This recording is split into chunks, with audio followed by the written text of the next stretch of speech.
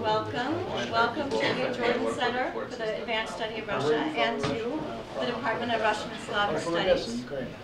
Thank you so much for being here. And I'm going to introduce our speakers. We're very grateful um, to them for sharing their time with us, and I know it's going to be really interesting. So first, I think we're going to start off with um, Professor Stephen Cohen, who is a Emeritus Professor at NYU and at Princeton, Russian History and Politics. I think most of you already know him. Um, Ambassador Kerry Kavanaugh, former U.S. Ambassador. Um, uh, Jeremy Faust, master's candidate at Moscow, Inst Inst Moscow State Institute of International Relations. Um, Mr. Leon Geyer, translator. And Sandy Krolik, Dr. Sandy Krolik, who's a retired USA executive and former professor. So thank you all And very much. Randy, Randy Bregman. Oh, I'm so sorry. I, I skipped you. Randy Bregman, S- Senior Counsel, Dentons US LLP. I asked you all those questions and then I skipped you. And um, I think that we'll let everybody say a few words and then there'll be question and answer, although because Professor Cohen has to go, I think we'll do his Q and A directly after his talk. Okay? Thank you. Thanks for coming. We just start, or is that it? You can just start. Yes.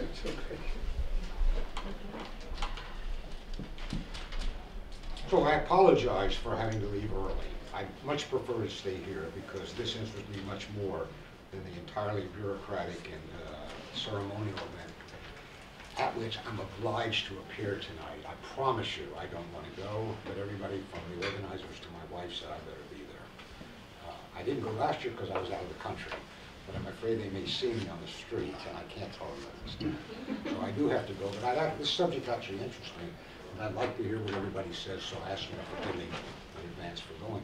So I stumbled a bit uh, over this word career.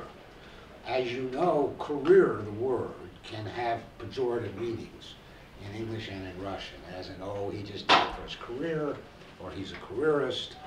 Uh, so I looked it up in, in Webster's, and it says it means a profession or an occupation as a life work. That seems, I, I sort of lean toward avocation or profession rather than, than career, but it's certainly the case that for me, Russian studies has been a career, a vocation in the formal sense, in the academic sense. I mean, there are a lot of things you can do in Russian studies, and you'll hear about some of them this evening. But I chose academic life, partly by accident. And uh, it has been a lifetime, even in quasi-retirement, uh, vocation or career in the dictionary sense of the word. I had tenured professorships at two universities, Princeton and then here at NYU, very good universities both, which prized Russian studies, and both of which, though uh, the teaching load was substantial in both places, not for me when I finally came here because I was part-time, but it was substantial. Nonetheless, both places uh, went out of their way, especially for young academics, to be sure they have time to do their research and their publication and all the things that you have to do if you want to make, quote, a career in academic studies, which means get tenure eventually. So I have been lucky and I guess successful in that sense. I also had, and this was entirely accidental, or maybe not, I'll say a word about that at the end, access to the American mass media. Partly because we can always count on Cold War with Russia, or vice versa, and the media is more or less obsessed with Russia and has been since I was your age, a graduate student, in all the wrong ways, though sometimes it gets interested in things other than the Cold War aspects. But luckily or otherwise, I had a second career in the media. And believe it or not, for almost 12 years, I was paid. Imagine this. I mean, when you look at Talk TV tonight, you wonder, does anybody actually pay these people? When I was actually paid, and paid stupidly well uh, for 10 years by CBS, which enabled me to put two children through private schools in New York, which I couldn't have paid the tuition without going into debt. So I, you're looking not only at a loan-free student, but a loan-free father. Thanks for to Russia and CBS. Uh, and having access to a lot of people on television could be at times, despite all the ugly mail, a rewarding thing. You meet a lot of people, interesting people, uh, and so it broadens your own perspectives. For me, though, I think it's fair to say that Russian studies, as an academic field, uh, became a life more than a career. And that's really the point of what I want to say very briefly. It became a life, uh, an unexpected life, I guess. I think there's a Coen Brother film by that name. Isn't there an unexpected life? Anybody a fan of the Coen Brothers? No. C O E N, Fargo. anyway, I digress. Uh, it, it became more. It became a life. I won't explain how this happened. We don't have time. I want to stay within my 10 minutes. But because of Russia, uh, I uh, journeyed from a small town in Kentucky where I grew up, what Russians call the provinces. They all get hysterical when they find out. It's like, oh, the provinces, that's interesting. More than the provinces in the Kupianaya. So it's, uh, but it was, uh, I did grow up there, and because of Russia, I ended up in New York, and then in New York on to Moscow, again and again and again. And over the decades, my family, uh, my wife and my children, have mingled with Russian families. So an extent, you know how Russians are about families. When they adopt you, they really adopt you. And so I have, because of Russia, had, in some ways, because my parents died very young, uh, closer families. Bukharin's widow, I wrote a biography of Bukharin, Bukharin Valarina, considered me her pre-only son, her adopted son. And the fact is, my mother had died so young that I kind of embraced this idea that she wasn't my mother, but she was motherly. And, and so Russia gave me all of this. And the same true with my youngest daughter, who's now 28, Nika, who traveled with us, with my wife and I, on all these trips to Russia and became part of those extended families. So much so that she was absolutely convinced until very, very recently, she's now 28, that Gorbachev uh, is, is, was her godfather, the Kresnyak kiss. Because we saw Gorbachev so much, we became part of his extended family. So he just, she just assumed that was her godfather until we had this long conversation. And actually it was, this is my wife's choice, Yevgeny Yevtushenko, the late poet, was my daughter's godfather, for reasons that are too bizarre to explain. But nonetheless, the point is, is that because of Russia, I got a life I wouldn't have had otherwise. I met my companion and wife of 40 years, Katrina Vanden Heuvel, now the editorial director and publisher of The Nation, because of Russia. Uh, along the way, I got to know a number of world leaders, including the first President Bush. I mean, I, I didn't know him like intimately, but I saw him frequently for a period of time.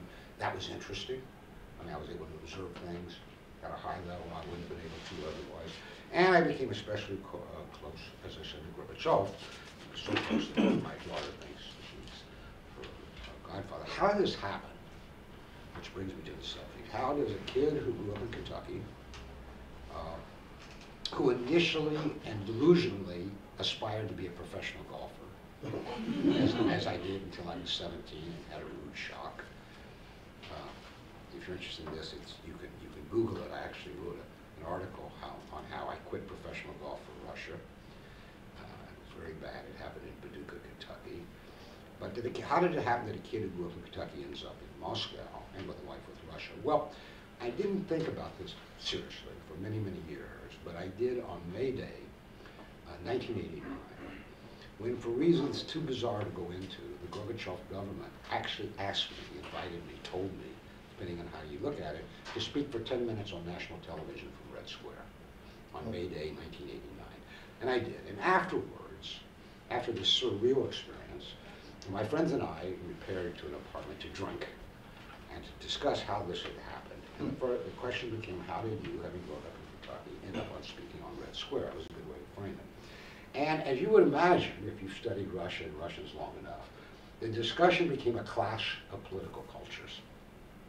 So I said, we were about eight of us, I guess, sitting and drinking down in the apartment. Oh, it was all a, series of nisluchanosti, accidents, half-stances. I mean, I don't know. I just did certain things and I really wasn't thinking, and there I ended up on Red Square. And they vehemently said, absolutely not. And you, you already know what they all said. No, absolutely not. From the beginning, this was your fate. This was your fate. And I was not a fate sort of guy by disposition, but I have to say that lately, rethinking my life, and you do that when you get old, you start sort of going back, and there's a song about this, about regrets. But anyway, you have your regrets and your non-regrets. And maybe they were right.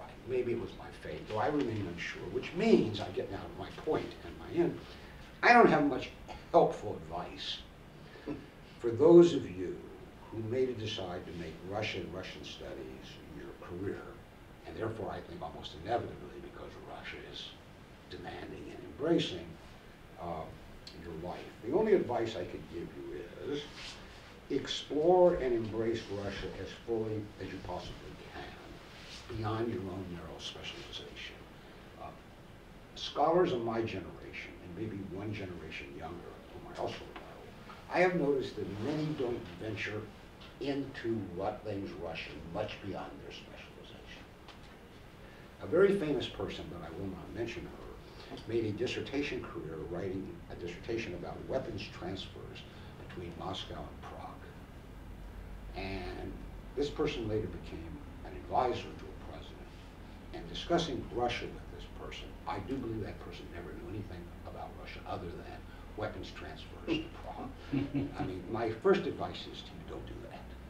I mean, embrace Russia as fully as you can. Secondly, don't be deterred, deterred or discouraged by any torments that Russian behavior may inflict on you. Russia will behave badly by maybe not your standards, but by the standards of your neighbors. That's almost for sure. And you really have to develop a kind of shrug attitude toward that. You can say, oh, well, they're Russians. Uh, that's what my daughter said. Oh, he's a Russian. I mean, that explains everything. Think Russians will be Russians. But you can get distracted and tormented by that. But you can also get distracted and tormented by your fellow Americans who are very quick to slur people who hold views about Russia and American-Russian relations different from their views. And it can be unpleasant.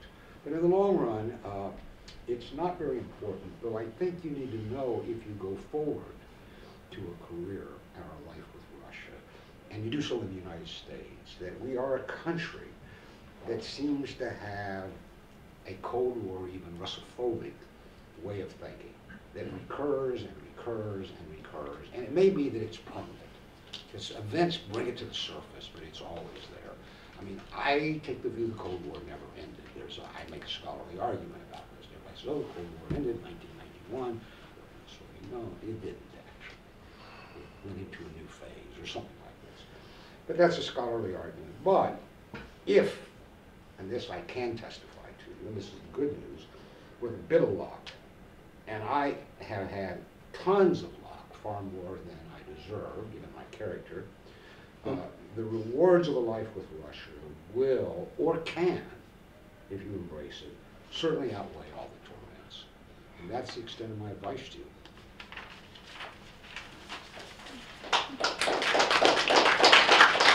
I'm not sure it's something to applaud, but uh, that- that's what it is. I really thought about this a long time, because I hadn't really done so before. As um, Anne has mentioned, we will have a Q and A session um, at the end of the presentation, but since um, Professor Cohen has to leave early today, uh, if you have any questions for him, um, you may ask them now.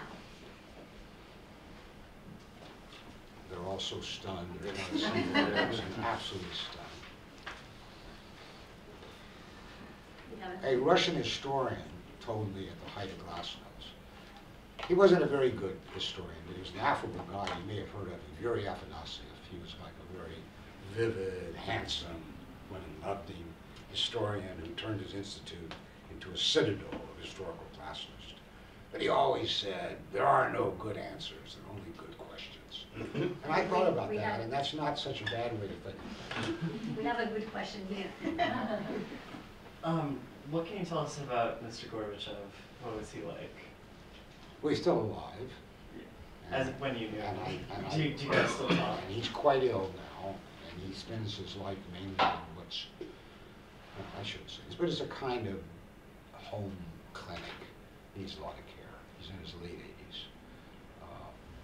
But he, his wit, his mind, his memory are pretty good for that age. I mean, you can engage with him. Uh, Tell me how you framed your question again. Um, what was he like when you knew him? Well, I still know him, I guess that's what confused him. I mean, obviously, he's changed over the years. I first met him in 1987, uh, when he came here for a summit with Reagan. And I was working for CBS, and as I say, for various reasons, that brought me to Gorbachev. And actually, I had read uh, my biography of Nikolai Bukharin, which had been translated, but not yet published in Russia. It was a struggle. But he looked at me and he said, oh my God, you're the son of the man who wrote the Bukharin book. And to this day, I don't know if he's joking, but he obviously thought Russian standards, anybody who writes like a 500-page book like this had to be at least like 60 or 70. I was my mid-30s, so that was how we first met. Um, you know, he's clearly what people used to call, I think Sidney Hook called this, a world historic figure. He's a man who changed history. You, always, you always put in the caveats that an individual doesn't change history. There are a lot of things, social history, the rest. But I think it's fair to say that had there been no, no Gorbachev in 1985, there would have been no perestroika in 1985. There would have been perestroika of a kind eventually, no question about this. But it would have been a much more conservative. And it would not have been a perestroika whose leader, at some point, we still don't know exactly when, I don't think even Taubman's biography of Gorbachev answers this question, embraced demo- actual democratization as opposed to a kind of Khrushchev-style liberalization from the world, which was good. So when I look at Gorbachev, it's no exaggeration to say, there's a very bad book about him, early book about him, was titled The Man Who Changed the World. And uh, when we talk, and he's more interested in kind of daily things and these big questions, he's heard the questions over and over and over again, and he's had a lot of second thoughts over again. Uh, he has a lot of regrets of not doing certain things that were options, not doing certain things more quickly, though I have made an argument to him that whereas the main criticism of him as a leader was that he moved too slowly, I have argued to him he moved too quickly. He should have been more incremental, uh, for, to ward off the opposition, to have more social support in the West. But uh, at almost 80 and ill, uh, he's melancholy, but still exceedingly thoughtful. And you have this kind of out-of-world experience when you remember who you're talking to.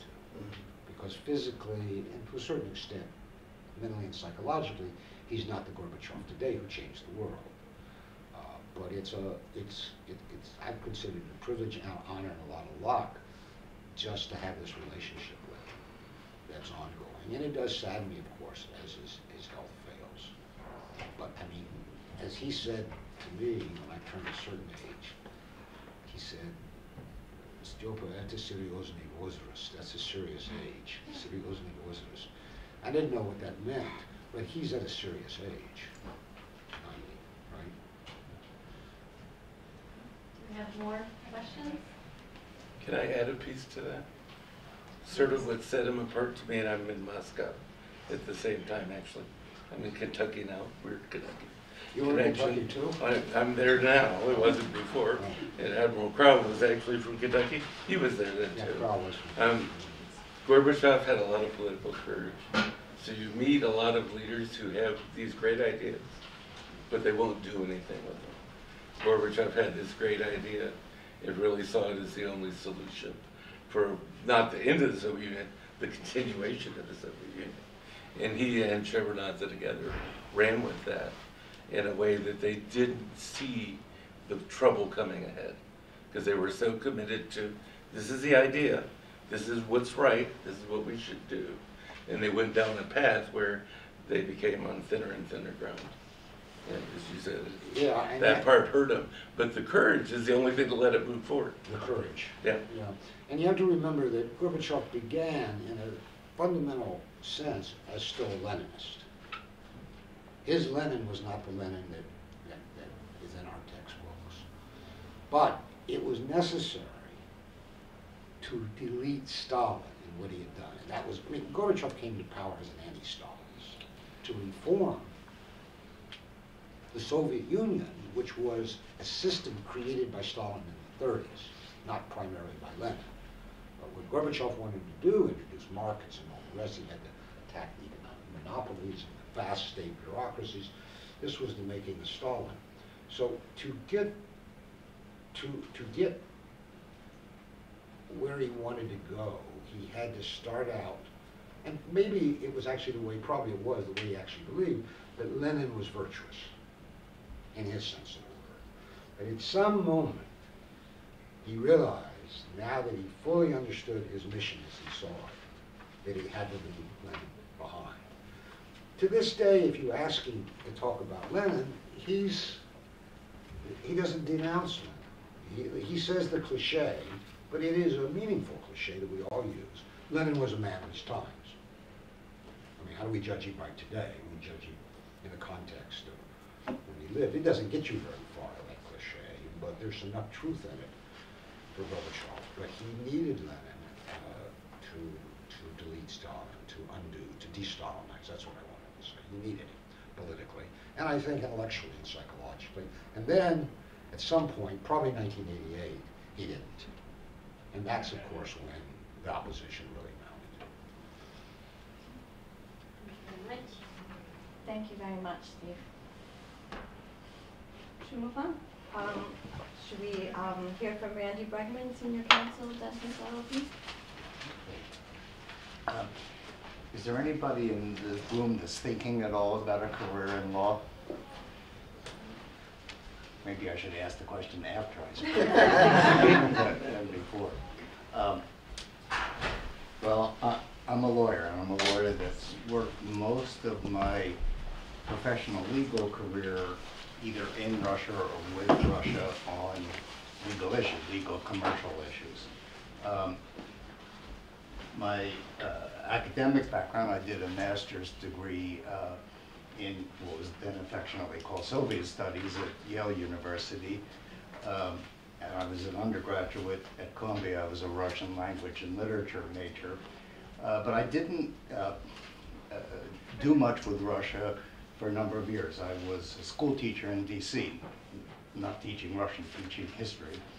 Um, and for various reasons, I got interested in law and went to law school at night. Reasons having uh, nothing at the time to deal with the Soviet Union or Russia. Uh, but fortunately, at that time, and when you talk about luck or fate, I'm not sure which it was, but perestroika started to happen while I was in law school. And there weren't very many people, either lawyers or, or people studying law, who had a background and interest in what was then still Soviet studies, it was the 80s. Um, and uh, it- it- the world of law in connection to Russia changed dramatically. There was real business. And the Russians, uh, the Soviets, wrote a law called joint venture law, um, which was the first time that foreign investment was allowed into Russia, really since the days of Lenin. Uh, and it provided a legal framework. It wasn't very long, and for various reasons of luck and chance, I happened to be on part of the committee that wrote the law, though I was still sort of a law student. Uh, but they were desperate, so I, I got to participate in it. And then um, in 1991, uh, one of my co-authors of the law worked at a law firm in Washington called Steptoe Johnson, and they needed somebody to run their Moscow office. And uh, there weren't other competitors, so it was a very easy job interview. She was an old friend, and it's the only interview I ever had starting off with a, a two-sided kiss rather than shaking hands. And the next thing I knew, we were off to, uh, to Moscow. Uh, But right before we left for Moscow, and this says something about perestroika and the fall of the Soviet Union, uh, we took a vacation in uh, Martha's Vineyard. And early one morning, the chairman of the law firm called up and said, well, how long do you think this will last? And I said, what is this? And he said, this is a coup against Gorbachev, and Gorbachev was forced out of Mo- Moscow. So I, so I said, I don't know anything about it, I'll watch the TV, and called him back later, and I said, uh, maybe six months. And he, he uh, said, yeah, that's what your partner Sarah said, six months. uh, we're looking now at the force majeure clause of your contract to see what it means for your, I, I think he was joking, but uh, history made it irrelevant whether he was joking or not. My wife, who was watching the TV in the background, said, one week. So one week was over, the, that coup attempt failed, and he called me up and he said, we are changing your contract, we're replacing you with your wife. Anyway, my wife was not a lawyer, so she couldn't run the office, but we moved to Moscow. Um, and in some ways, my Russian Soviet training was far more important in a way to the successes we had there than my legal training. Uh, in, this was, everything was new, brand new for Russia in a fundamental way. They had, the laws they had were all Soviet laws. The laws had to do with state planning, the state planned economy, not a market economy. There is no such thing but of a contract between two private parties in the law. A contract in the Soviet Union was between the state and an individ, and, and the company, and was an order, it wasn't a contract. There was no private property. Well, here there were big hotel companies uh, leasing or investing in hotels, and there were no, there was no law for to govern the ownership. And so there was this sort of vacuum, and the vacuum could only be filled at that time by Western law, by people who had a Western legal background, but also had some understanding of the Russian context. So in some ways, I was exactly in the right place at exactly the right time. And as uh, the downside of the career advice I would give now is I think that opportunity is long, is gone. And I'll get to a li- a little later why I think there are other opportunities. Uh, But the cultural differences were, were very important because Russians were starting to do business, but to them, to most Russians, business was uh, black market. And if you look at the history of the oligarchs, they were either from, had been in the black market before or had been leaders of the Komsomol, which sometimes hard to tell the difference.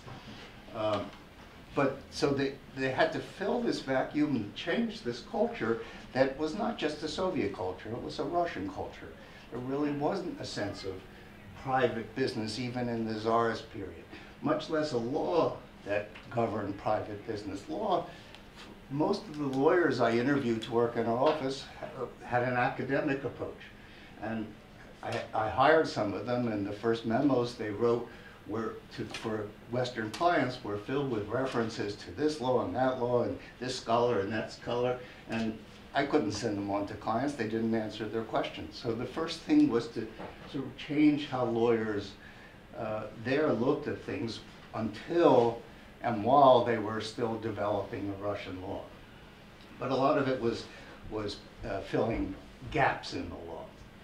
Um, Another big part of the difference in business was uh, for Russians to engage with, in business with anybody, Russians or foreigners, they had to have a deep level of trust. You talked about drinking into the night after your event on Red Square. That's how, they didn't have reports on, they didn't have reputations businesses. They had to get to know each other. And there were an awful lot of uh, joint ventures that were originally designed in saunas. Uh, I used to have a box filled with uh, American clients that would come to me with the terms of their agreement that were on napkins from the sauna and were sort of half dripping with water still. And we, they said, turn this into an agreement. Big challenge, right? But, but it was remarkable to me how many of the joint ventures started and had to start by that because people had no way of, of judging each other. The other, another cult, there are many, I could go on for days about the cultural differences, but one that came up a lot in our office was a kind of a Russian cu- cultural sense of pessimism about business, and it would cause them to sort of hesitate. Americans tend to look at it sometimes, a a lot of times by mistake, but sort of jump in with enthusiasm. I'm, I'm going to make a million dollars from this in three weeks. It's the greatest thing on earth, and I'm, um, uh, Bill Gates and I are connected some way, co- cos, cos, cosmologically, but Russians, it was sort of just the opposite. But we had to sort of mix the cultures, and um, the one, one example I had, we had a young man that rented an office, a, a young Russian, and he was dealing with Americans daily. But when, Ru when somebody from Russia would call him and ask him how he was, he would say in Russian, talk sibya, so-so." Uh, but 10 minutes later, somebody would call from the United States, ask him how he was. He would say, great, fine.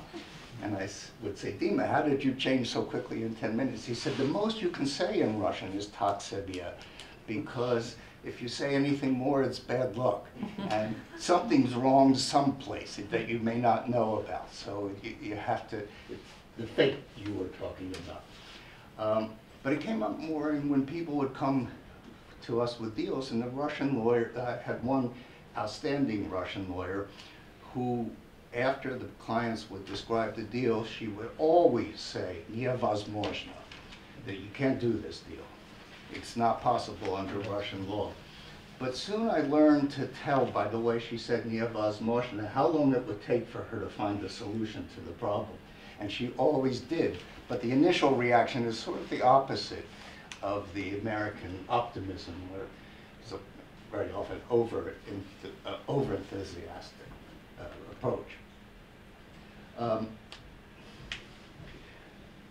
the- the- there was this challenge, though, of constantly trying to find Russian law where it didn't exist, and where it was just, it was coming out in uh, primitive forms or unsophisticated forms. It was being written by Soviet legal scholars who really didn't know much about how commercial deals worked. Um, And, and the good side of that is that we could very much influence how the laws were interpreted. There was no other interpretation, and when we had a deal that was something new, um, we, we had to fill up, fill in the blanks, and sometimes even just make it up, because there, there was no Russian law. There was, we had, uh, one of the big issues at the time was currency exchange. How do you, how do you get paid in rubles and transfer it to dollars? And one day, one of our big clients called an oil company, and they had all these rubles, and they couldn't get them into hard currency of any kind. So we found the one um, presidential decree about hard currency, and it, it, it- they were right, they couldn't change it. But if you move the comma in the degree four or five words later, it read favorably and made it possible. And I said, but you can't move the comma. And the Russian lawyer said, I'll show you how you can do that. She, she was a professor at Moscow State University. And she called up Yeltsin's legal advisor. You may have known him, Sergei Shahrai. was a young man at the time, but he was the main legal advisor to Yel- Yeltsin. It turned out it was a former student of hers. So she called up and she said, hello, Seryozha, this is Tatiana Konstantinovna, no, so asserting her authority, and said, I've been reading this decree you wrote, and the comma's in the wrong place. And he said, um, please forgive me, Professor Constant, uh, Professor Kovligova. I, I was, I'm doing all these decrees late at night, and I have no time to sleep and no time to think of them. Uh, I'm very pleased that you're noticing this mistake. The next morning, in Rossiyskaya Gazeta, the decree was reissued with the comma in the right place. But that's what it was like, and it, it's probably not, if I talk about it too much in front of lawyers, I could be sued for malpractice, but, and, and- and the- the Russians didn't have any malpractice law. Um, But things changed, and some for the good, some for the bad, but Russia developed a market economy, Russian lawyers uh, learned how to practice practical law, how to advise clients. A lot of them studied in the West, worked for law firms in the West and moved back. The Russians did develop a set of laws with some, some, still some major weaknesses, but at least a comprehensive picture of the laws. And the role of foreigners, in my, in this case, my case, particularly Americans, changed rather dramatically. I was, when I was there, the foreigners were sort of the lead, the leaders of the legal community. Now, of course, most law firms and law offices are Russian lawyers, uh, with a handful of Western lawyers. But it doesn't mean there aren't careers there, and there are, it doesn't mean there aren't uh, opportunities and special opportunities to use the training you get in, in Russian studies. Um, There, one of the big issues, and this is subject I could also talk for several days on, is, is corruption and the role that Western lawyers play in helping to design transactions that don't violate uh, corruption laws, either Russian or, or Western corruption laws. Also, there still is tremendous weakness, both on the business side and on the legal side, in, in, in, uh, in the finance and banking area. And there are a number of Russian, American lawyers with Russian backgrounds who work exactly in these areas still in Russia and have made lives there. And I think that will continue, that most law firms will continue to need uh, Western lawyers, uh, maybe as a, a, a small minority, but important part of the office. And I notice even Russian Russian law firms. My firm was a, a American firm with an office there. Russian law firms uh, are hiring Westerners, including Americans, again to pl- play specialized roles, but important roles. And so I do think there are uh, career opportunities there, and very interesting ones where I think you need to have a background in Russian studies in order to not just do well, but to enjoy it, to enjoy this mixture of very, very different legal and commercial and business cultures. Thank you so much.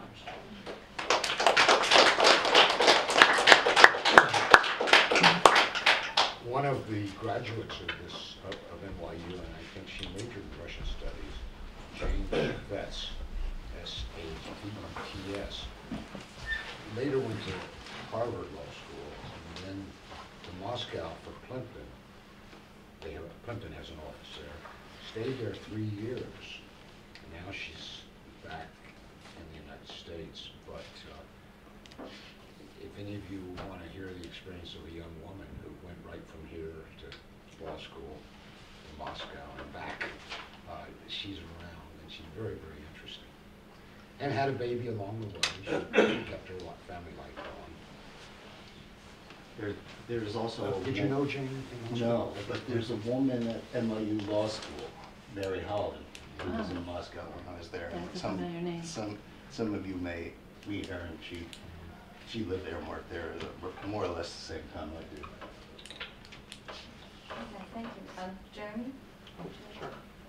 Um, so I should say it's an honor to be up here because I, unlike I assume the rest of the panel, I was born into a world without the Soviet Union. Um, so I had kind of a different path on my way to kind of Russian studies, and also I focus on arms control uh, and nuclear nonproliferation. Um, and I'm also obviously at a different stage in my career, so hopefully that can be helpful to some. Um, so I think my initial kind of introduction to Russian was in, hi- in high school. Um, I was actually up on 84th Street and had a senior elective on the history of the Cold War. And it was with a colonel from West Point, a former colonel from West Point, but also a historian. Um, so he really made us put our Cold Warrior hats on. And It wasn't Bill Odom, Odom, was it? uh, no, it was uh, Gary Fichet.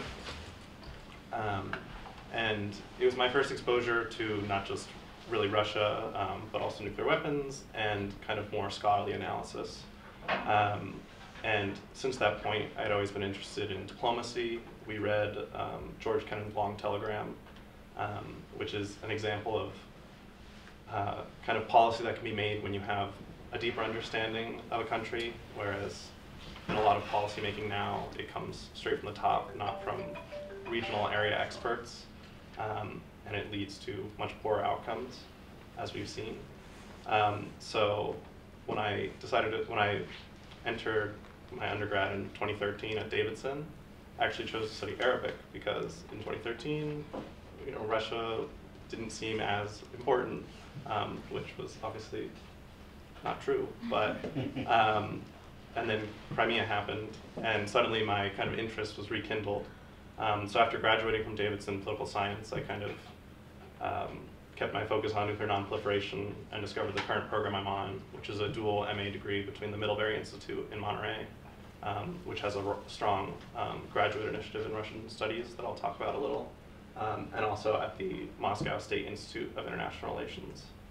Um, and I think one of the major things to avoid in um, kind of international relations and policymaking uh, is avoiding mirror imaging, which is kind of just assuming um, that if someone takes an action, they're doing it for the reasons you would do it.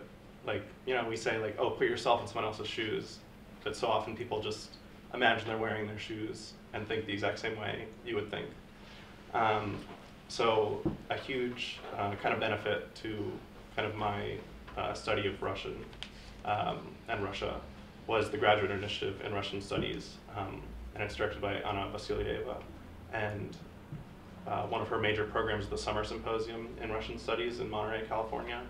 And so she brings top level experts from not just the US, um, like I think she had Tom Graham and Ambassador John Tefft, um, but also Russian experts like Dmitry Trenin um, and Lev Gudkov, um, which if you're studying without any with any foreign language basis, you are only introduced to English language um, publications, obviously. And there are some Western academics who can kind of get their points across correctly, but especially in mass media, even reputable media, um, you really get a skewed picture.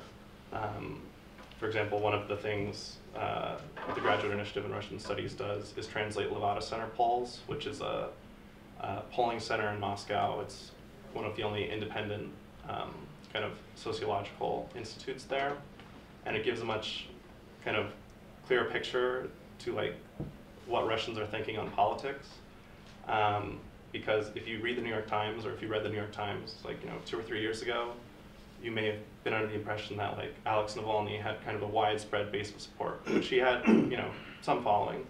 But if you read it through a Western kind of liberal media, um, and I don't mean that pejoratively, I just mean kind of like a classically liberal outlook.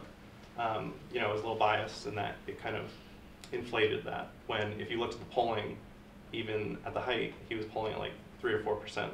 So clearly, we're not understanding something about Russia, um, and that kind of brings me back to I guess arms control. Um, so now currently I'm advising the Holy See um, on arms control at the UN, and this is leading up to the 2020 review conference um, for the Non-Proliferation Treaty, which is kind of the basis of the international order for nuclear weapons, um, but also for the general world order because uh, nuclear weapons are so important. Um, and if you're not aware, Russia and the U.S. still combined between the two of them uh, have over 12,000 weapons, even 30 years after the Cold War. Um, and relations in the nuclear space since 2014 have never been worse since at least the Cuban Missile Crisis. Um, kind of from the 70s onward, there were definitely tensions and there were definitely disagreements, but at least in the multilateral setting where other countries were involved, the US and Soviet Union always kind of put aside their differences in other areas and usually could at least show the world that they were united kind of in this area. And that was mostly to uh, placate the countries that wanted them to disarm. Um, but now we're going to enter this conference in a month, and there is uh, there was a Security Council meeting yesterday that I was at, and Russia just had a litany of complaints about the United States. The United States doesn't respond to any of them, and then subtly criticizes Russia for other things. Um, and I, I'm not going to blame either side. There are many scholarly debates, many journalistic debates, um, but clearly there's just such a misunderstanding culturally. Um, and you know, we're going to have policy differences, we're going to have differences in geopolitical interests, but when you add cultural misunderstanding to that, it can uh, result in miscalculation and misinterpretation. Um, and in the field of uh, nuclear nonproliferation, the stakes for that uh, can't be higher. Um, so, so having Russian in the field is very important because the U.S.-Russia relationship is still the most important in the field of arms control. Um, you know, the Trump administration talks about bringing China in, but we're not anywhere near bringing China into any sorts of trilateral arms control agreements. Um, and another thing I wanted to add, kind of as a younger person, you know, uh, in the 80s, there was a ton of people studying um, Soviet studies. Um, when the Cold War ended, some people stayed in the fields, like the people up here, but many other people who are graduating from college left the field. And then there's a, there has been a shortage now that there's more demand um, in government and uh, in other areas. Uh, so being a young person in international relations with Russian is important because there's always a shortage with the government. Um, and I've had the opportunity to benefit from the critical language scholarship um, and the presidential management fellowship programs. Um, so if people have questions about those, I can kind of speak to that later. Um, and I think that covers what I wanted to say. Um, so thank you very much. Thank you.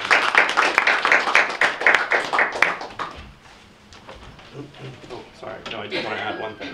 If government work isn't for you, this kind of goes off Randy's point. Um, if there's one area that you can, you know, it's debatable how you can credit any president with job creation, but President Obama and President Trump have created a lot of compliance jobs with the amount of sanctions that are used. Because, you know, if Congress doesn't know how to solve something or doesn't want to do what they have to solve something, they put sanctions on it. Um, so compliance jobs are expanding like crazy uh, at banks, consulting firms. Um, so it's probably less exciting work than other areas, but it's definitely paid better. So something to consider. You can't lose, is what you're saying. Um, I have an equally convoluted uh, relationship with Russia as some of the ones you've heard here. I was around for the Soviet Union. Um, I first became aware of uh, Russia during Cuban Missile Crisis. I was growing up in Jacksonville Beach, Florida. And on our TVs, they flashed. Um, Sailors are all ordered to return to their ships. Uh, That had never happened before. Um, North Florida kind of freaked out over that. South Florida was freaking out over Russian missiles that were being put in Cuba. North Florida was freaking out. How did the ships have to leave so quickly and is this war is imminent? So we went down to the beach and you could see all of our warships literally lined up along the coast headed south. And they left without all the sailors. So not only they never asked for the sailors to come, it was even worse that you had all these sailors on the dock waving at the ship. Um, they ferried them down by planes and helicopters uh, to get to the ships later. But, but I bring it up for a purpose.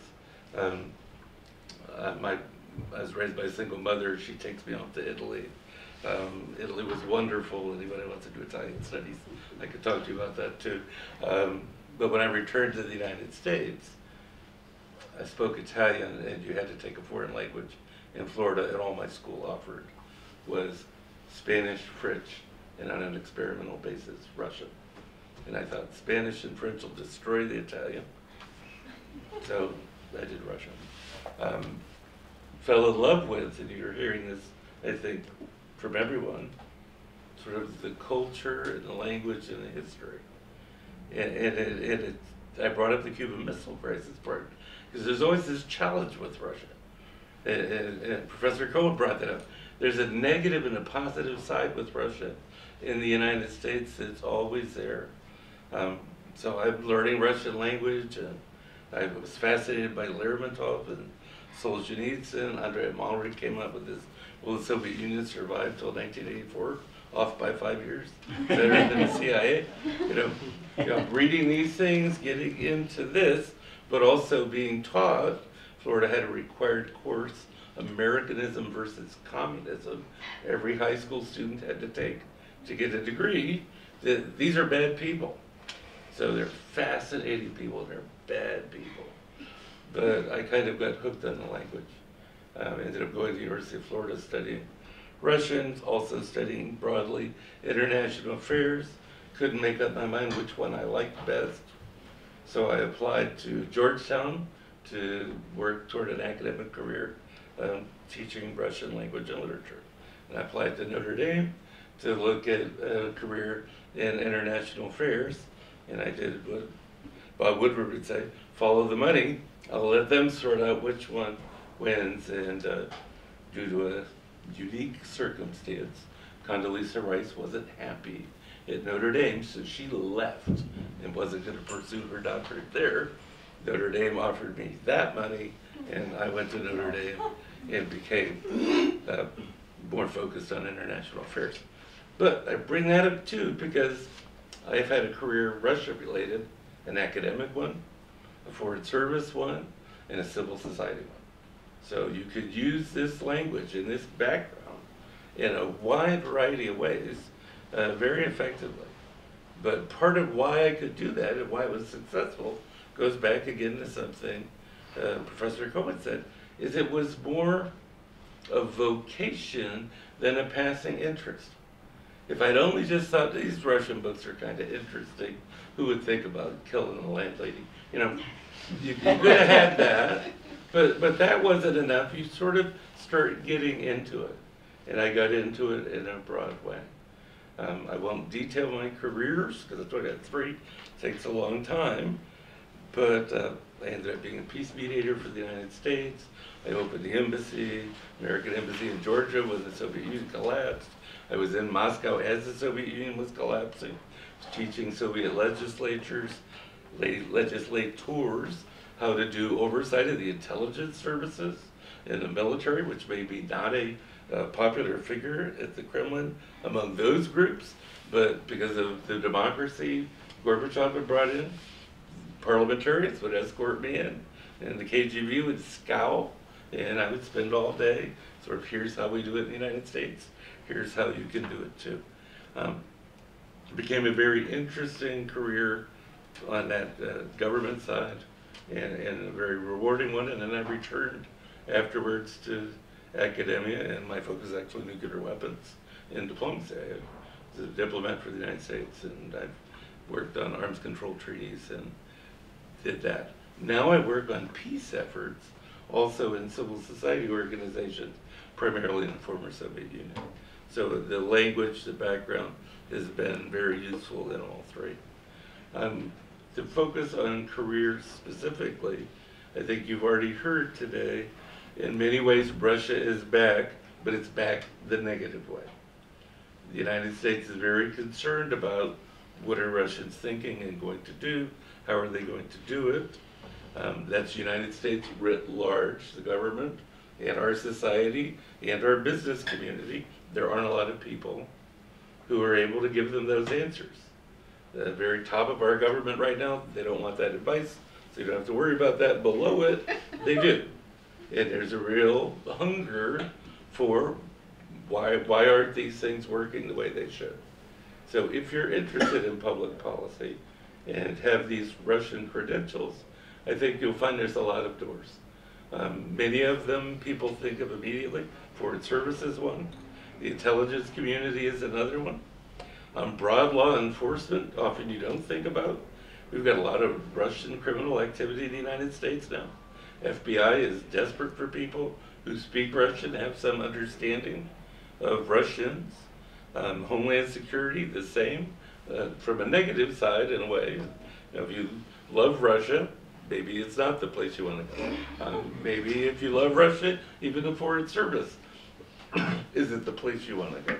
But if you understand Russia, there are potential careers in all of these. If you totally want to do nothing but good things, um, there is a demand for more people with Russian language skills and an understanding of Russia in the NGO community writ large. Um, right now, we're recruiting for people to work in London who are focused on the Caucasus. Uh, another NGO I was involved with is recruiting also a job in London, uh, people who understand Central Asia, but understand Central Asia with that Russian overlay of how on earth does Kazakhstan, Uzbekistan, um, Turkmenistan orient themselves vis-a-vis Moscow to be able to do other things with the West. So lots of jobs have popped up in those kind of sectors. And if, if you're broad thinking, I think you could find a lot of places to work that can be very rewarding. Um, I didn't mention much about academia, I come to it last on purpose. Um, I love it. It's the best time career one could ever have. Um, summers, you get to do your own research, structure your time as you want. a serious break in the winter. Um, it's less promising right now to be an academic than probably at any time in the history of the United States. Um, so if you're thinking of this as a vocation, like almost religious, then I would say, sure, think about academia too. Um, if all you can imagine doing with your life is studying Russian literature or teaching Russian politics, go for it. I get to do that. I love it. Um, but the reality in academia now is there aren't many jobs, they're getting fewer. There aren't many tenure track jobs, they're disappearing at every type of institution. Um, and the promise of finding work that pays well enough and is satisfactory enough, I think is getting more and more difficult. Doesn't mean you can't do it. You have professors here who've done it.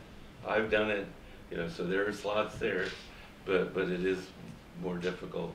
And I think you have to have the commitment to understand it comes with some of those other impediments. Um, government will not make you very wealthy. Uh, being a lawyer might, depends on the contracts you're doing, but government actually pays you reasonably well. And government gives you, and you heard a bit of this from Professor Cohen, an access to um, levels of the societies you're dealing with that are uncommon, and you can get very hooked on that. That, uh, you know, he talked about, oh, he, he met the president. Uh, my job as a Foreign Service officer, you met all the presidents.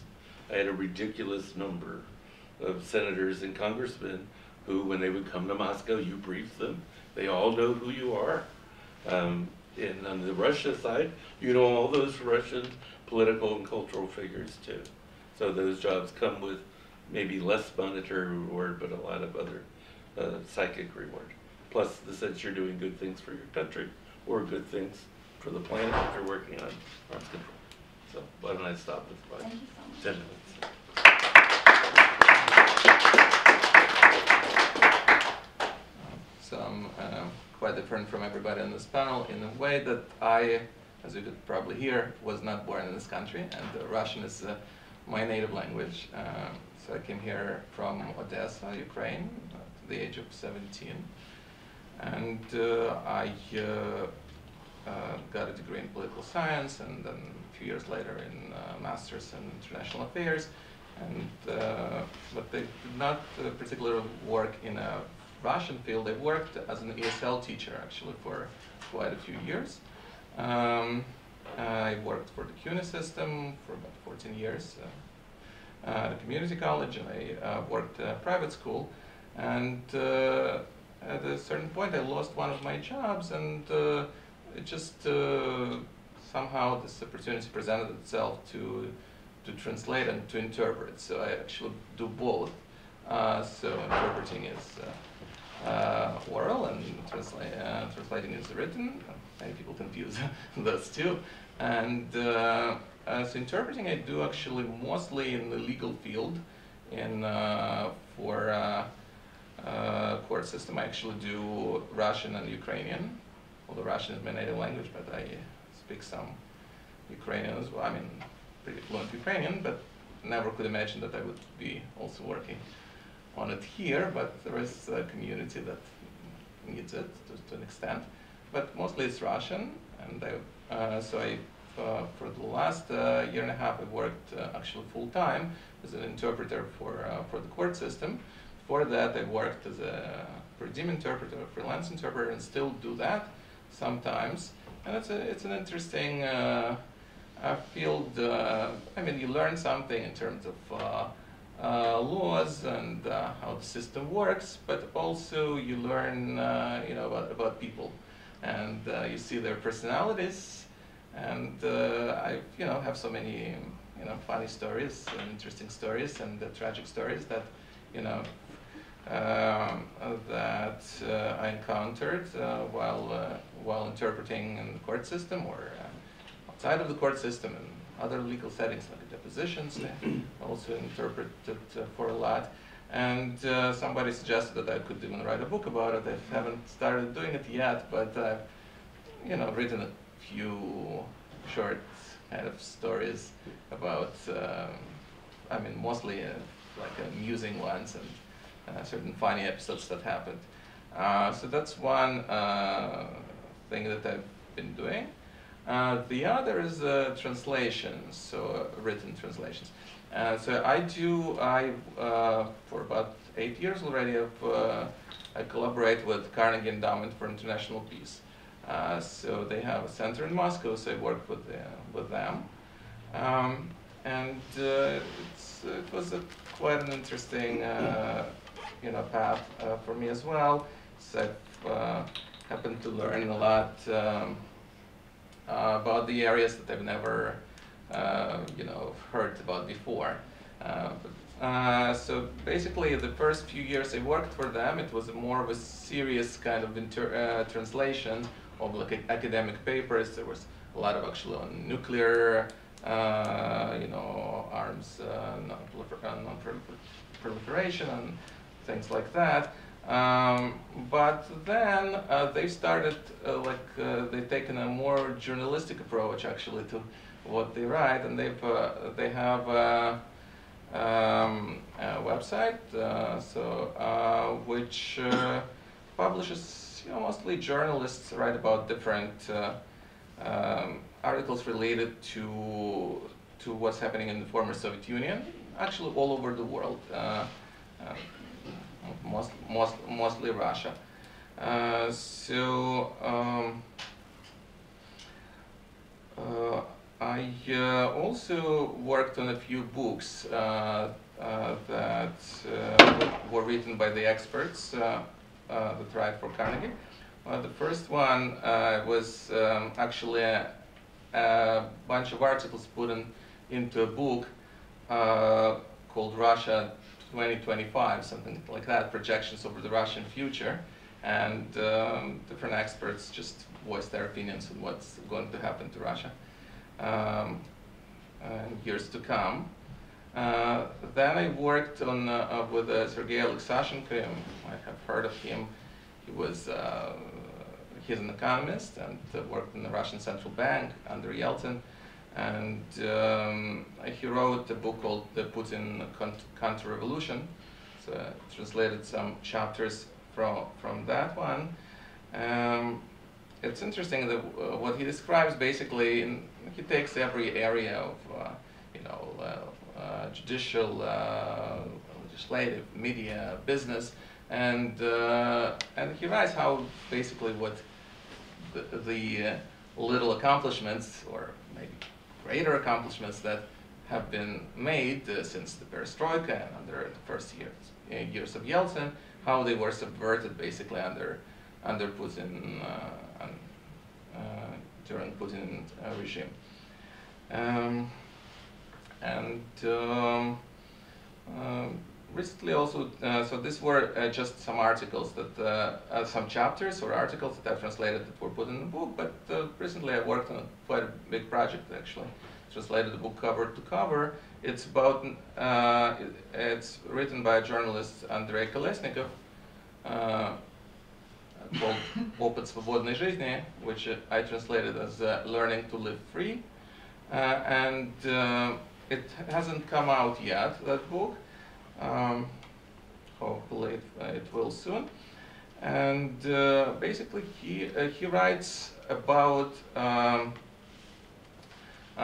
the Moscow School for Civic Education, which used to be called Moscow School of Political Studies. They changed the name when they got onto the list of uh, the foreign agents. Uh, as you know, Russia passed uh, this law um, making the organizations that receive funding from abroad register as foreign agents. So uh, they um, put the school on the list, which was kind of an offense to, to its uh, uh, founders.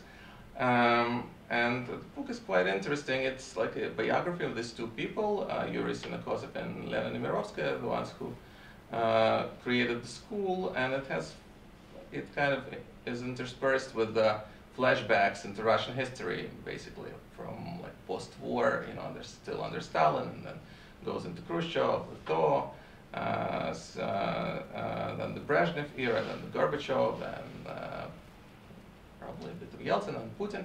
So I mean, it's interesting when you read about people's lives, and also you find out about the events that uh, happened during uh, during those times.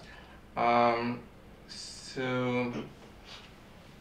Um, and right now they offered uh, to me a book, uh, to translate a book, uh, which is more of a philosophical nature written by one of the founders of the school, Yuri Senokosov, and that's what I'm going to be working right now. It's probably the most challenging one that I've had so far, uh, because it's just so abstract and kind of philosophical in nature, and that's harder uh, to translate and lots of allusions, lots of uh, you know citations. So like I started translating a chapter, for example, it had a lot of Shakespeare in it, and it's kind of like. Uh, uh, I mean, it's in a way easy because you just you don't have to translate. Obviously, it doesn't make sense to translate uh, Shakespeare from Russian back into English. So you just find uh, you look for the you look for the quotes, uh, and sometimes it's not so so easy because the translations are very often are very different, especially of Shakespeare of what uh, you know how Shakespeare uh, put it, and um, at this particular point today, in recent days, I've been translating an interesting article uh, written actually by a Carnegie scholar. Uh, uh, her name is Tatiana Stanovaya, and she writes about the five elites in in modern Russia, basically kind of debunking the myth that Putin's friends are uh, are very influential, or the the uh, uh, the uh, Siloviki, so-called Siloviki, or in English as they pr- pronounce it Siloviki, the the force structures, the security apparatus of uh, uh, of the government that they've actually running the show. So sh- what she uh, is writing that it's more of a technocratic elite right now, that it's more of those uh, just uh, kind of implementers of, of the policy of government policies that uh, that are basically in charge, and maybe it's some one of them will will replace Putin. So, um, so you know, it's, it's an interesting uh, to to make it more general. It's an interesting field. I don't know how like whether it it could be a career uh, exactly, but but it is um, something that you could do while uh, doing something else, and um, so that's basically my my suggestion uh, to you know you're learning Russian, so you might as well you know uh, figure out how to how to use it in in this in this field. It's, uh, I think it's pretty rewarding and enriching. So here I am.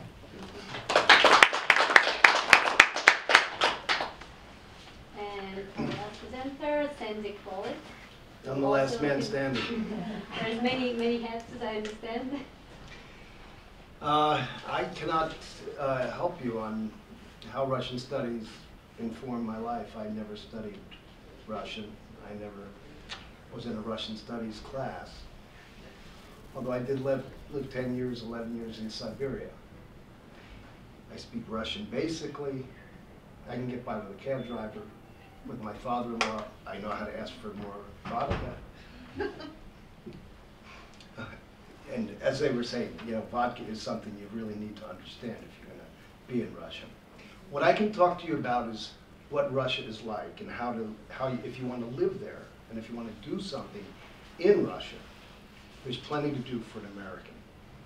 My background is in the history of religions, history and philosophy of religion. University of Virginia, before that University of Chicago. Uh, I was a, an academic for about 10 years, then I went into management consulting.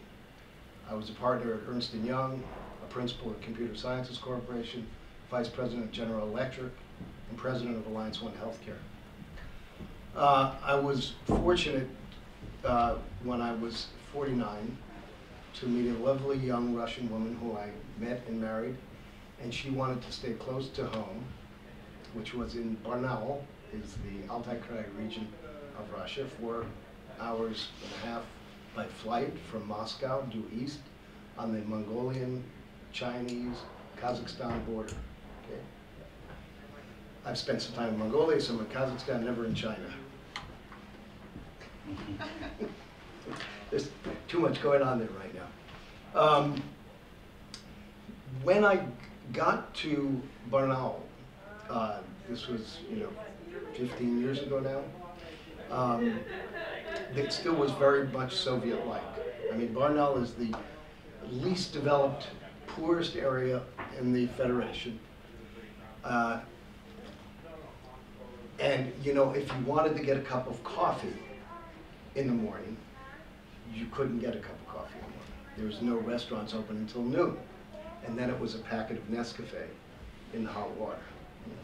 Now there are gourmet coffee places open 24 hours all over the city of Barnaul, which is a city of 600,000 people. Not far from Novosibirsk, which is twice its size, 1.2 million people. Um, so I wound up in Russia. I wound up in Siberia. And what I really, uh, the first thing I did, because I, had been an academic, is I went to the pedagogical university where they had a linguistic institute, which was teaching English and German and French and other languages. And I, um, I introduced myself to the rector of the linguistic institute. I was the only American in Barnaul. Come, come, come in. And uh, they made me a professor, and I taught. Uh, I didn't teach, English. I taught philosophy and cultural studies, intercultural studies, to Russian students whose English was almost as good as mine.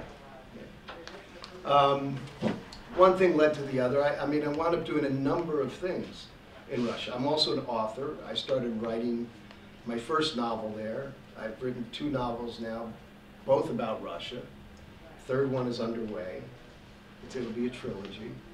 Um, but I was writing political and social commentary as well. And uh, I did a number of books while I was out there. But one of the things I did early on, while I was at the university, um, is that I get introduced to another gentleman whose English was very, very good, a young man, younger than myself. I look young, I'm 67 now. Um, and Alexei uh, had an idea. There, the, uh, Putin had just put in a rule. They wanted to develop the Altai region as a tourist region, which they should, because it's an absolutely gorgeous area of the country, just stunning. And so Alexei and I decided that nobody understood anything about customer service in the tourism business. So we started a consulting company in Barnaul on uh, customer service in tourism. And we did a couple of projects, but one of the guys in the group, you know, I had to get guys who, you know, I had to get native speakers. You know, I sort of coordinated stuff, but they were really, you know, delivering the material. One of them threatened me because he didn't do his job and he, I didn't want to pay him. And he threatened me, and uh, I said, well, you bring your guys from the mafia, and I'll bring my guys from uh, the uh, the fire brigade. What is that? Um, not the FSB. Anyway, um, so I, I, learned very quickly that you had to be a little careful in Russia in dealing with the Russians. But that all worked out fine. Here I am. I'm alive. And I've done several interviews with FSB, as a matter of fact, because I'm the only American in Altai. And they're always asking me for favors. So I don't know if I'm a double agent or not. Um, so I developed a small consultancy there. We did some business. I stayed involved with the university. I set up an international exchange program between uh, the Pedagogical University at Altai and Hobart and William Smith College, where I, my alma mater for my bachelor's degree up in Geneva, New York. And so we have students going back and forth uh, on their own money, their own dime. Tuition's wiped out, so there's no tuition fee either side the Americans, the Russians get a lot better deal because the tuition in America is like 20 times as high as it is in Russia. Um, but the thing is that, uh, you know, you can just pick up, especially if you're speaking a little Russian. Anybody here speaking a little Russian? Okay. You can just pick up, get a flight to Moscow, wait a couple hours, get on a flight to Barnaul, go and introduce yourself there's lots of things to do there. There, especially if you go to go to a university. Go to, uh, you don't have to, there's, there's pedagogical universities, there must be 20 of them in the Altai region. There's one in Biysk, in Belokurikha, in Novosibirsk, in, in, in uh, Barnaul. There's others that I don't know about. So you can, there's lots of English teaching jobs, not simply at the pedagogical universities, but there's lots of independent little companies that have sprung up all over the city. There must be 40 English teaching companies in the city of Barnaul, 600,000 people. And uh, of course, I did a lot of, you know, guest lecturing there. Did a lot of guest lecturing at every university in Altai Krai and elsewhere. I did a lot of presentations in Moscow when the book was released. We had it translated into Russian.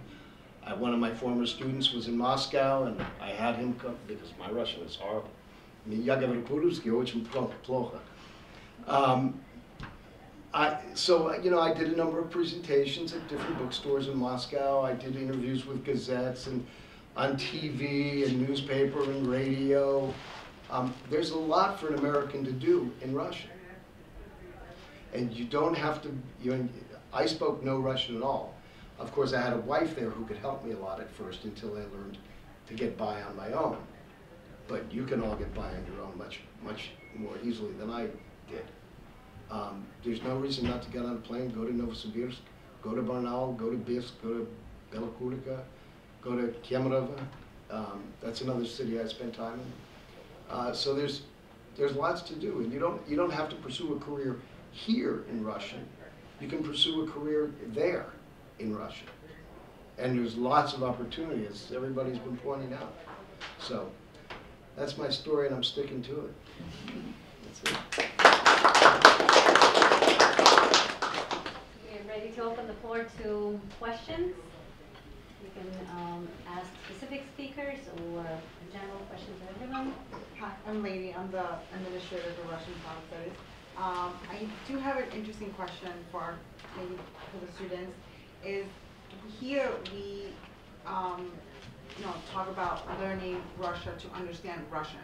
You know, are Russians learning English or America to Mhm. understand American? So I, I wonder, like, if any anybody could speak to this, like, From- what is the difference? First of all. I, I want to say that there's a complete misunderstanding of how the Russians in the heart of the country feel, even in Moscow, but specifically in the heart of Siberia. They absolutely love Americans, categorically, without a doubt. They love Americans. They love to hear English. They love to try and speak English. They, I brought a number of Russians on different grants across to the U.S. I'm sure you have a variety of stories. Right? I'd say it's not exactly to learn about America. They have an appreciation for American culture, so Mhm. they want to understand the words to the songs they sing. They sing them and they often don't know what they mean. They want to understand the movie and not rely on subtitles. They, to them, those are their movies too. They're their songs too. So they learn for that, and a lot learn for business. It's understood Russian won't get you far enough in the world Yeah. if you don't pick up another language, and the language in contrast to the turn of the century before the last, when everybody learned French, now it's English. And now they're turning away and they're turning towards China. A lot of them are studying Where- where Chinese. you're at, yeah. They're all studying Chinese now. Yeah. But, but there's that. I mean, there's a deep curiosity about the United States that's been there all the time. And then the Soviet Union period, really uninformed. People would stop you and ask, just amazing, do all Americans have helicopters? Is that how you get to work? You know, i- is it true that you go in the stores, they're all full of goods? Yes, and you don't pay for them? No. But the assumption was, this was the place on the planet to live. We had everything, and they would hear one thing, not trust it, interpret it a different way. Now they have a better understanding of what's here. Um, sadly, also a mistaken one in many ways, and the government there helps keep it mistaken. that We're just as corrupt as, you know, our oligarchs are like their oligarchs, and Jeff Bezos is just like the guy who stole the steel factory in Magnitogorsk, but he's not, he's quite different. Jeremy, you wanted to? Yeah, I don't, this isn't a representative sample definitely, but I live with two Russians now in Hell's Kitchen, um, who are both on, in my MA program. Uh, one's from Moscow, one's from Yekaterinburg. And I can hear them saying, why would you ever go to Barnaul? And I I know, I believe Oh, you, you- I, but it's like if someone says go to Yeah, South Dakota, it's really beautiful. Yeah, no, it is. beautiful. It is you know. Barnaul's a great little city, and the Altai is a gorgeous area. But one of my roommates, um, his girlfriend who's visiting here, uh, Nastya, she, uh, I think she just got her master's in American Studies actually. So she was studying not just English, to learn English, but uh, to study the U.S. and our political system and how it works. I think she's very interested in um, gerrymandering and how think tanks influence the political system. And I still remember when I first met her in Monterey, she asked, uh, she said, oh, who's your favorite senator? Um, and she meant it as like a political operator, not necessarily for political views. And she was just like, mine's John Thune. And I would just, I was like, I had heard his name. I think he's one of the Dakotas. But like, I was like, wow, me. she knows like our political system better than we do. Um, and I think definitely in the U.S. we have a shortage of knowledge on the Russian domestic political system because I don't know much about the Russian domestic political system, and uh, it's definitely needed. Can I Oh, add something to that? Um, it- It's, one of the most important changes from Russia to the Soviet Union was the, and started in perestroika, was people being able to travel outside the Soviet Union.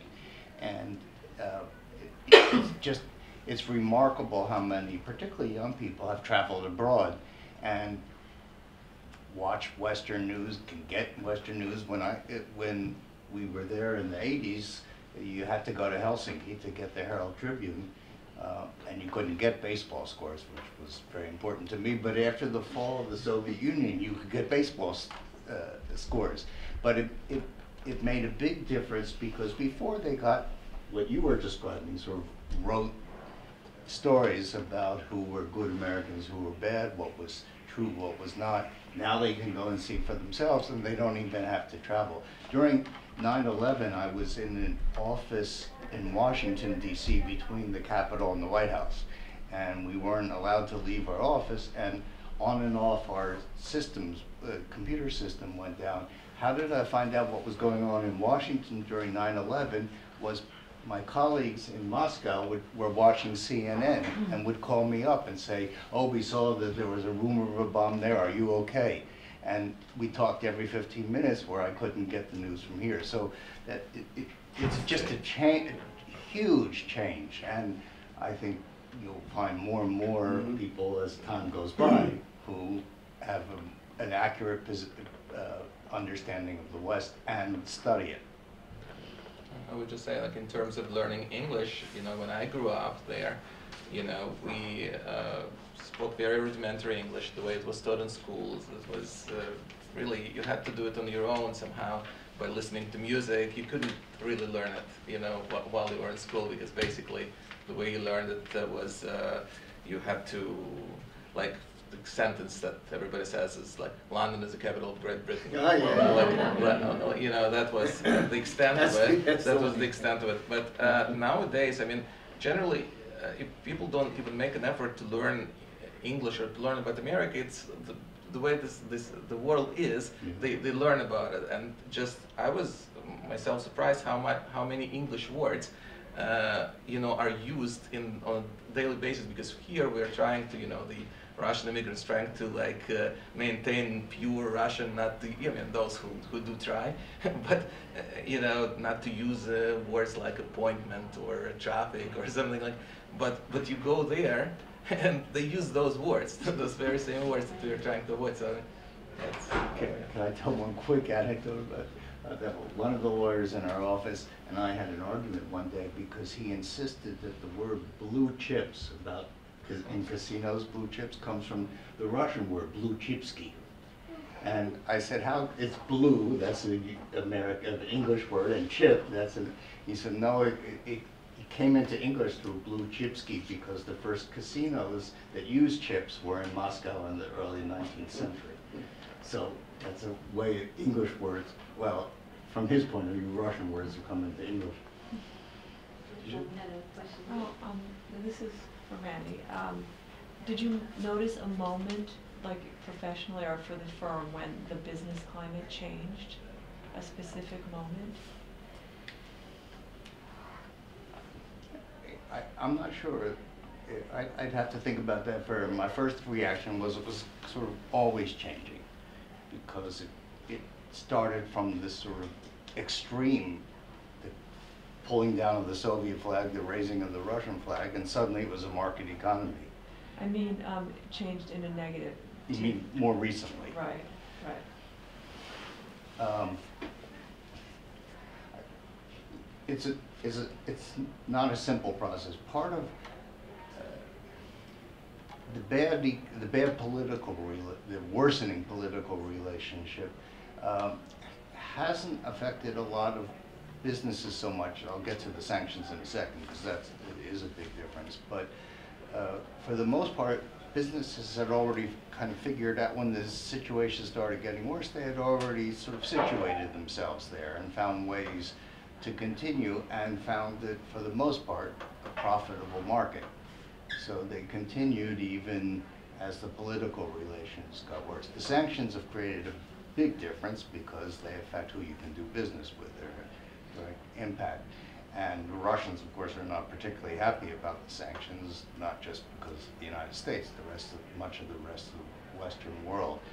But it, it's an interesting change because initially people went in there, American businesses went in there thinking, uh, it, it's the Wild West, we'll try it, we'll explore, maybe we'll hit, hit it rich, maybe we won't. And then they built factories and they were invested there and they were taking out product and shipping in product. And they, those companies more or less continued to do it, uh, except those that are directly involved with the sanctions. So I'm not sure there's a, a moment, and I'm not sure it's dramatically changed for the worse. It, it's not like it was when I lived there, which was, everybody was all excited about, and they came in with the napkins from the saunas about new deals. Uh, That doesn't happen anymore. But there, I'm on the board of the US-Russia Business Council, and there are steady people, that companies to stay on it year by year. Doesn't, it make, gets new members as much as it loses members. Uh, Hi, my name is Diana Diabova, and thank you so much for the talk. I'm studying political science and Islamic studies at Columbia, and um, I'm a junior, so I have anxiety about like, career opportunities upon graduation. So um, your experiences really put me at ease. And um, maybe dangerous. Um, specifically to Jeremy Faust, maybe you have the most experience with this, but um, do you have any ideas, other than the two programs you mentioned, about internship opportunities and things to do over the summer? Um, so there were those two programs. I don't know for more professional development or just Russian study. study. Professional development. Um, well, I know I was actually speaking. Uh, you should ask people in this office because they know better than I do even. Um, but there's also the Boren Fellowship, which is more for research, um, but you kind of build it yourself. So there could be kind of a more working component, more if it was research. Um, so you could be abroad. I think they won't fund in Russia proper, but like you can go to Belarus and you you know you're not understanding necessarily Russia directly, but you're understanding parts of the culture. And also, I will tell you, no one knows about Belarus in the United States. So if you develop expertise in that area, you will be uniquely qualified. Um, but I will say, uh, don't worry so much about the anxiety. You know, I have anxiety up here, so I'm far younger than everyone else here. Um, and really, just if you see something, like just apply to it, even if you think you don't have a shot, because often you will have a shot. Um, and it's just kind of like overcome the like uh, self doubt sometimes. It's really There are things like Alfa Bank too has Yeah. a fellowship program that's mm-hmm. pretty rich you might want to look into. I'd say the other thing, I think you heard it from the speakers, you don't really know what path you'll end up on, and there's a lot of serendipity in here. Now, if you're a good Russian studies person, it's pretty depleted so it doesn't matter, it's gonna happen anyway. But, you know, I think you think of one path, you discover something else, and it works. And as we said, I think you heard repeated, there's a lot of new opportunities. I just want to briefly share the magic of my stay in Russia. Um, I I have to say, for context, uh, Steve Cohen was my professor at Princeton, and Randy uh, and I were working in, in Moscow uh, at the same time. And I was brought over um, through the U.S. Russia Investment Fund and um, 1996, and I stayed till 08 though I segued into other things. I was a banker lending to small, medium-sized enterprises, uh, to entrepreneurs, and it was an extraordinary experience. I have not followed the Russian financial services um, uh, um, since, really. I, I'm no longer directly involved with Russia, except through former colleagues and, and all. So um, I think what, I- and I do know Avon, Avon uh, has a program that must still be active at Alfa Bank. And uh, so uh, I, I waved the Russia flag for years with the American Chamber of Commerce in Moscow. And I would still do it, um, but I can't really tell you about opportunity. But um, I, I just follow, they say follow your passion. Um, eh, eh, one thing does lead to the next, and it was extraordinary. I brought my little kids and the husband, and and it, it, it, it was a bit bumpy at times, but it was life changing for us all. So There's, a- thank you. there's another idea I just had when you mentioned it. There's chambers of commerce all around these Russian cities. And they all, you know, if you're an American visiting, I mean, they will have you come and sit in, you will meet people, you will talk to business people, small business owner. There was an Alfa Bank president in the, in the Chamber of Commerce that I used to go to with, um, in Barnaul, who I met. He called me up one day and said, would you give me English lessons? I started giving him English lessons, you know, so there's lots of opportunity. Just go, take off. Well, I have, can I just add one more thing? Um, so since a lot of the American, I mean, you guys know more about the uh, business climate, but a lot of American banks especially have moved away from Russia just because the sanctions make it so hard to do business. Like French banks, German banks, other European banks are still operating there, and they have internship programs, and I'm sure they have positions in Moscow, so that might be one area to look. When you're an American, how do you reconcile your love for Russia or um, international benefit or, or, or international good interests with your own passport and if you work for the government, U.S. interests? I think it seems Yeah. philosophically more difficult than it is. Um, you know, if you're an American, you're an American.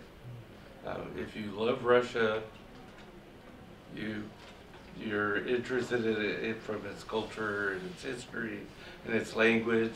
Um, a lot of places they're hiring for that. You know, when when the State Department brought me on board and John Tefft on board and John Beyrle on board, we all knew we would end up in Russia. That was part of what was appealing to them. Um, they sent me to Berlin first. They thought German would be good to learn, and like George Kennan, they went together. You know, so you got that. But so it wouldn't be that they're looking at you going, "Oh, why on earth does he like Russia so much?" Um, there is a degree, depending on where you're working. If it's for the government, you could like it too much.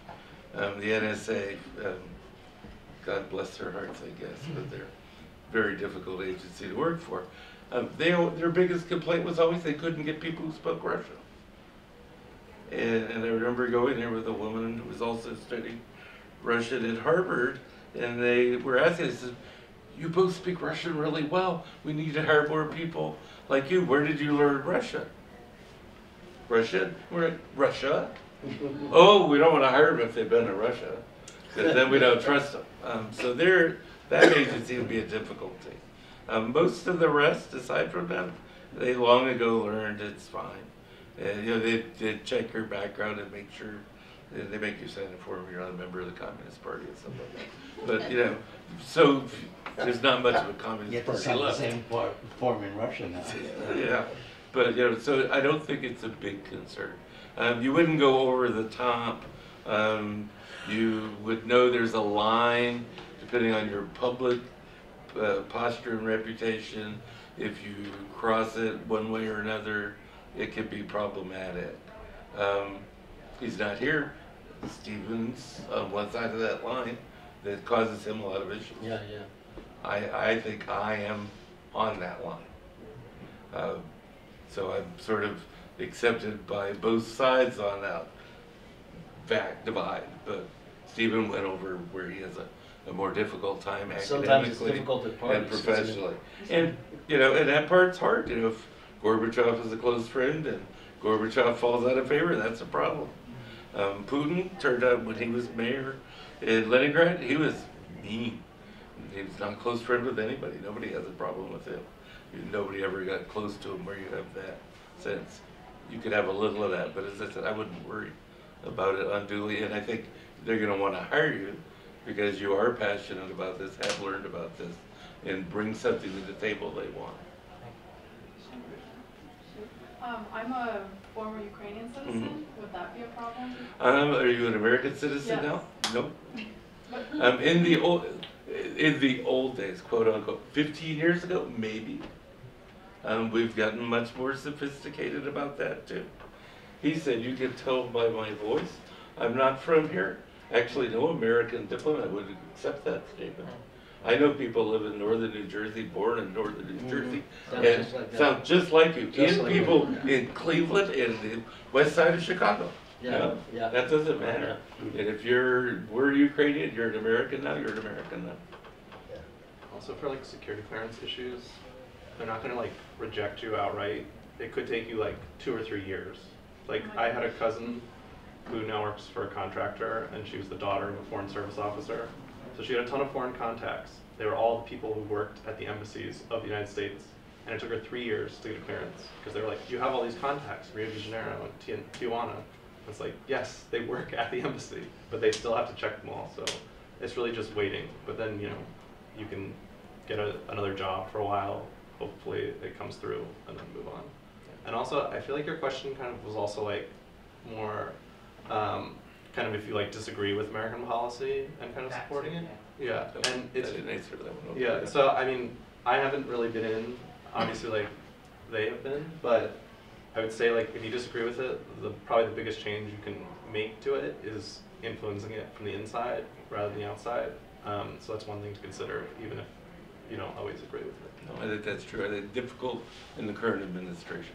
Mm. Um, on that one, so foreign service, um, we make you, when you join, sign two pieces of paper. One, you're willing to go anywhere on the planet. Many people are daunted by that. Like, oh my God, what if they send me to Barnaul? You know?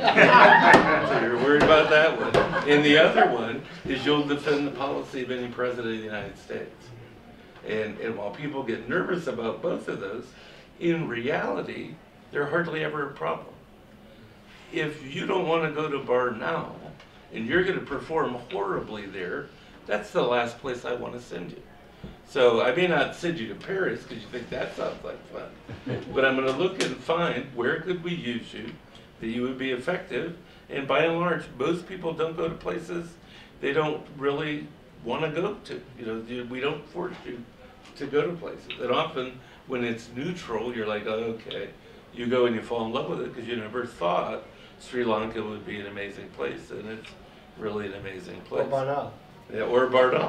Um, on the president part, you Yeah. have the ability, whether it's state or defense or even the intelligence community, to steer your career quite a bit more than people think. Don't go to areas where the administration currently is diametrically opposed to what you believe. So if all of a sudden there's a big problem with Russia policy, if you're a Russia guy and you can't handle it, great year to do a, a training year, great year to go off to work on Capitol Hill for a year, we let you do that. Um, great year to focus on a different region of the world for a while. And then when it shifts, you come back. I will say one more thing from the diplomatic point of view. My experience over a number of years with foreign service officers is they are remarkable at being diplomats, that they get, they must get this, I don't, I never went through it, but they get fabulous training on how to um, deal with difficult questions in different circumstances. There's one thing about talking about to your spouse. There's another thing about talking to, about your views with close friends and a number, another thing in meetings, but you, the, I'm just so impressed with how foreign service officers are, are trained and live that life. And even, and I, I guess I, some of them are good friends, so I can tell when their views are not, uh, are, they're not lying, but when they're being very careful about their views. But that's part of the training, and I think it's excellent training because it forces you to be intellectually consistent and intellectually honest and still be doing something in, in a career. In any career, as a lawyer, I have to take the side of my clients, even though some of them I don't particularly appreciate, but that's my job. And uh, that, that's sort of part of the real world, but I think in the Foreign Service, you, you learn it better than any place. Let me comment on that and add one other thing I should put in there too. When we're horrible at training in a way, because what we do is we apprentice. So it's medieval training. You learn on the job how to do it from other people who are good at doing it. We don't send you so much to a school to learn it. Um, actually, we don't hire you to pay a lot of your own money to learn foreign affairs somewhere else, and then we'll teach you how to be a diplomat, so you get that. Uh, the other thing I didn't highlight, depending on if you want a federal career, um, they're very different. Is do you want a career that's more global, or do you want one really focused? So you can go get a job at CIA as an analyst and literally only work on Siberia for your whole life. They'd be delighted. Um, you'll be living in Northern Virginia. It's quite pleasant.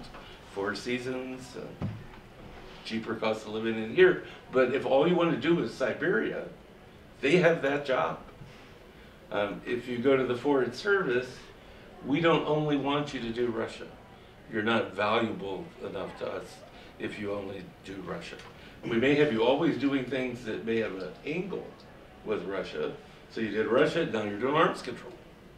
You did Russia and or you did China, and now you're in Africa looking at what are the Chinese doing down here. Um, so depending on where you're interested in going, if it's more Russia focused or generic global languages, cultures, um, choose accordingly with that too, because they're very different careers. Foreign service is very much live overseas half the time and immerse yourself totally in a couple cultures. Thank you very much. And may I suggest that we continue the discussion, please do not leave, but in a truly Russian manner, accompanied by food.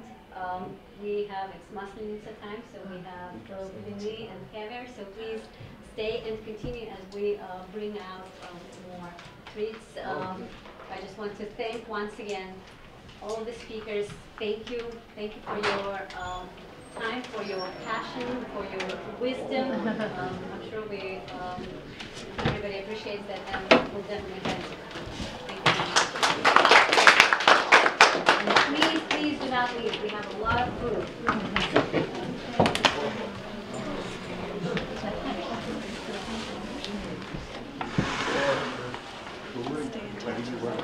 You're working with an NGO now? No, no, so I'm.